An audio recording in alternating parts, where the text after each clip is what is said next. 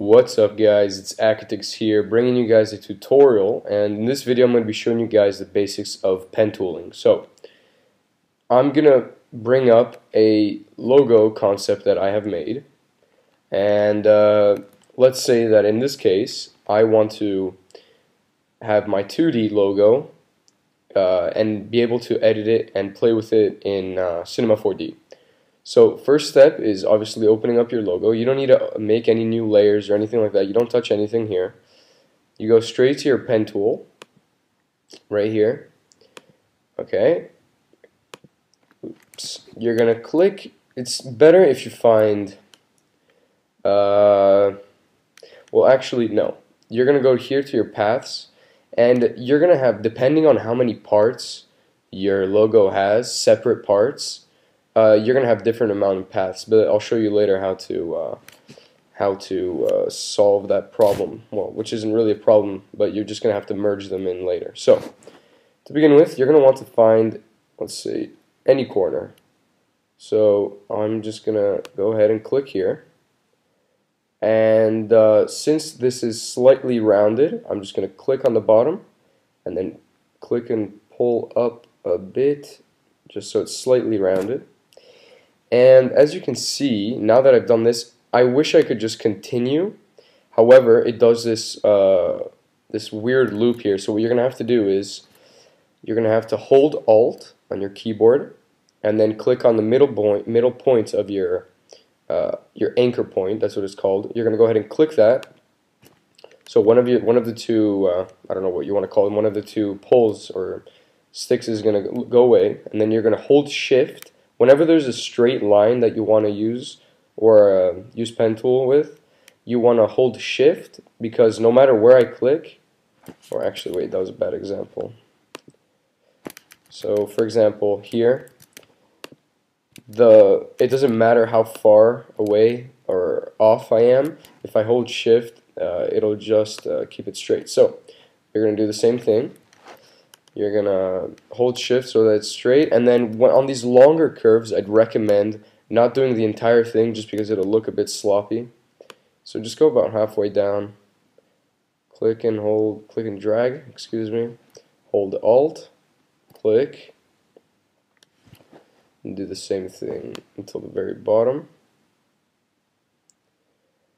Like so hold Alt. You have, you have to remember to, uh, to do that step. It's very crucial uh, when uh, pen tooling because also a trick to, to making, making them more accurate, you want to mess around with how far you pull this. So many times when it's a very small, very small um, curve or incline like this, you're just going to want to click on the on the top and then pull up and then very, very slowly pull to the right or to the left just because it'll, uh, it'll stick closer. So here, I'm just going to go ahead and click without holding any buttons. Here there's a slight curve, so I'm just going to adjust it. And so you get the gist of things. Essentially, you're just going to outline your entire logo. And actually, if I were to very quickly, just to show you, just for the Let's see. So as you can see, this is not as accurate, but well. So uh, if you had, if you didn't see that, when you were when you're ready to uh, finish up your first path, when you go back to the original anchor point, you're going to see this little dot next to your next to your pen tool. You're just going to go ahead and click that, and that uh, finishes your first work path. So as you can see, uh, however, whenever you have letters, for example, or spaces that you don't want to be part of your logo, you're gonna have to pen tool those as well. And it's gonna it's gonna leave them in the same work path. It's not gonna show up uh, like all the anchor points for the previous time you went around your logo, but that doesn't matter. So if you look at the updated work path here, it's cut out that part as well. So I'm just gonna very quickly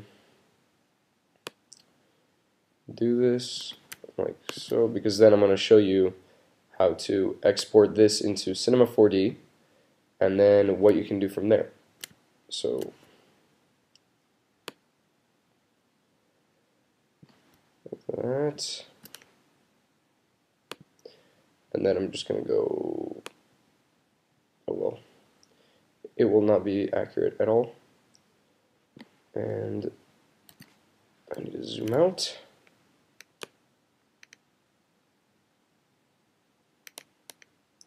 So as you can see, that, that's the reason behind uh, whatever doing it halfway through. It just makes it much more accurate later. And making it accurate now is definitely going to help you out in Cinema 4D. That way you won't have to mess with any flaws, uh, etc. So, whoops. You're going to have to click and drag here. There we go. So, okay, essentially, let's say this is the logo we want, and I'm just going to ignore this part right here. So you can go back to your layers, everything ready, and then you're going to go to File, Export, Paths to Illustrator, and you're going to select, uh, if you have more than one path, it's going to give you the option to select all paths, but right now I only have one, which is my work path, so I'm going to hit OK. You're going to go ahead and save it, so I'm going to just do that. Open up Cinema 4D just like that. Wait for this to open.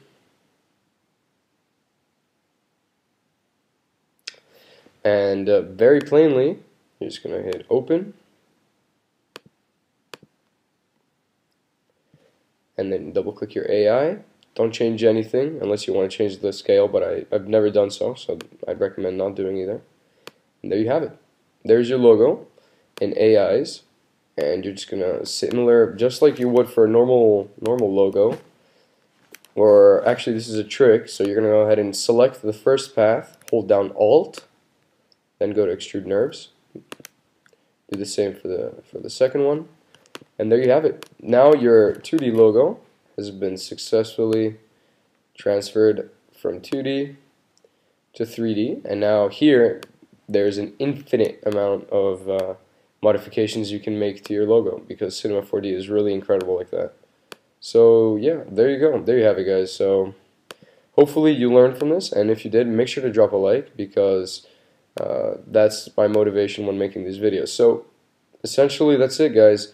Hopefully you enjoyed this tutorial and it helped and uh, if it did, make sure to drop Actually, alright, just, just a bonus bonus thing just because I feel like that was too quick. I'm just going to go ahead and show you guys the final, very uh, important part to, uh, let's just get a render.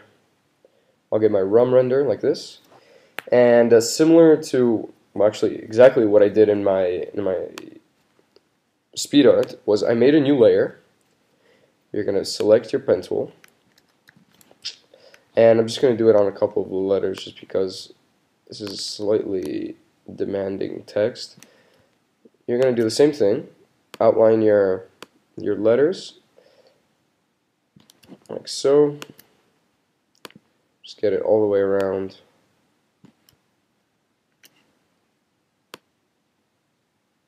Like that.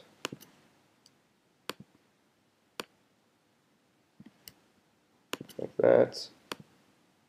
And Alright, so now that you've, essentially, assuming you've outlined every single one of your letters, you're going to go to your brush, you're going to make the, keep it on a soft brush, however make the size extremely small, down to 6, 6 pixels. Uh, if you want, depending on how big your render is, you might want to go down to even 4 pixels. It depends on how clean you want it to be. I'm just going to keep it on 6 because this is a rather big render. And you're going to want to make it this depends on your color correction. So for example, if I were to bring mine in right now, bring in my color correction pack, which is for sale as usual. So if you ever become interested, you can just message me. And we're just going to bring in our render, like so, just to test out a couple color corrections. So let's say, alright, let's say I want this one. Take off this pattern. Perfect. Going to bring that back in like that. Put a black backing. Alright, so now that we have our outline, I'm going to go back to your new layer, which you haven't touched yet. Click on Pen Tool, right click, Stroke Path. You're gonna, you're gonna since you modified your brush, you're gonna leave it on Brush. Simulate pressure selected. Hit OK. Then hit the the Delete key on your keyboard, and there you have it. Now you have an outline of your uh, of your of your letters. So this can be used whenever you want to. Uh, for example, you're going to want to, let's see, distort, go to ripple, and this leaves a pretty nice effect. I really, actually, to be honest, this is one of my favorite things I like to do, and that's slightly too much. Distort, ripple, I'm going to bring it down to, let's say 130, 140. And so this just like gives a abstract outline to your text. And uh, another thing I do is if I go back to when I had my outline.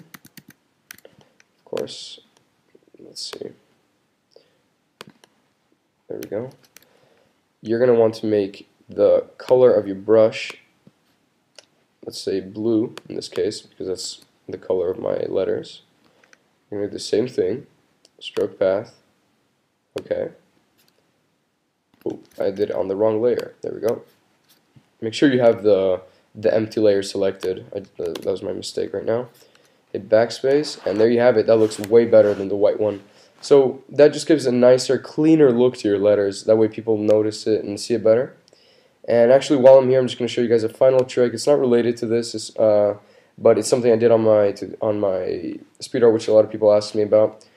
What I like to do is after selecting a color correction, which I I choose based on uh, how much it darkens the letters and how well it's going to fit on my background. I don't always like the the color that's given to me. So in, in, this case, it would be blue. So therefore, you click on the on your color correction pack. You go to gradient map. Therefore, it is above the pack. Make sure make sure it's always above it. You're gonna go to hue. Then here you you you typically have uh, some default ones and uh, so if I were to bring in these, a lot of these I've made, a lot of them I've gotten from packs around uh, since I've started. So, so for example, this one, or actually I'm just gonna go with the original. This one, it just looks nicer when it has this outline to the text, as you can see, compared to the rest. And then if you add this this ripple, if it, oh, that was the wrong layer If I add the ripple here. That just looks overall, uh, just gives it a nice, nice touch. So that's pretty much it on the basics of uh, pen tooling. I know there's much more, but this is uh, how I've taught myself to use it and how I find it useful when making graphics. So hopefully this helped you out, and if it did, make sure to drop a like, and uh, definitely comment letting me know what you guys want the next tutorial to be because I'm running low on ideas. So yeah, that's pretty much it guys. Thanks a lot for watching and peace out.